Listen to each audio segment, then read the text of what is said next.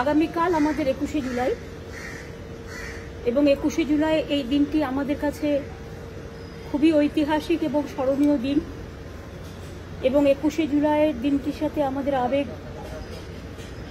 আমাদের স্বজন, আমাদের মামাটি মানুষ, আমাদের শহীদ তর্পণ, আমাদের মামাটি মানুষকে উৎসর্গ করার সবটাই আমরা একুশে জুলাইকে ঘিরে করি।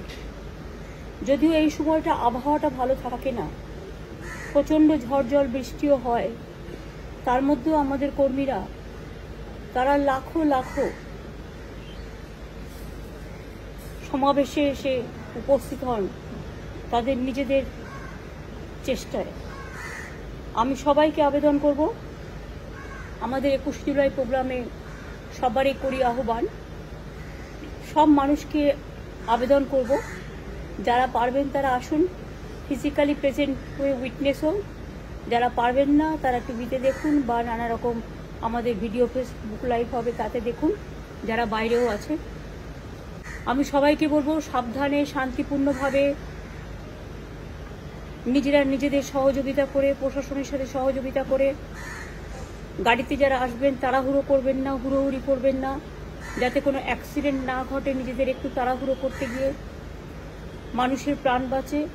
সব মানুষকে সাহায্য করার জন্য সব জেলাকে অ্যালার্ট করছি। সব জেলায়, সব জেলার উপর দিয়ে যারা আসবে, তারা যতক্ষণ পর্যন্ত বাড়িতে ফিরে না যাবে, তাদের সকলকে সহযোগিতা করবেন। আমি সমস্ত রাজনৈতিক দল, প্রশাসন, সব সর্ব, সমস্ত জগতের সকলের কাছে আবেদন করব। আসুন, একুশে জুলাইকে প্রত্যক্ষ করুন। একুশ মানেই আন্দোলন, একুশ মানেই ভাষা।